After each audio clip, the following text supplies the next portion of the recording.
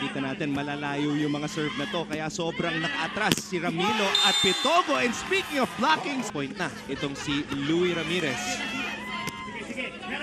Ramilo, make that three block. is because yung gulang niya, yung Wow! gulang niya sa championship at gulang niya sa beach court.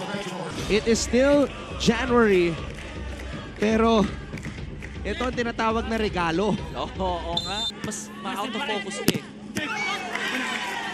Para. Could not send that ball back down to the sand. Ramirez! Gaya ng sabi ko sa iyo, Anton. Sa men's beach volleyball, experience niya sa ganitong klaseng championship.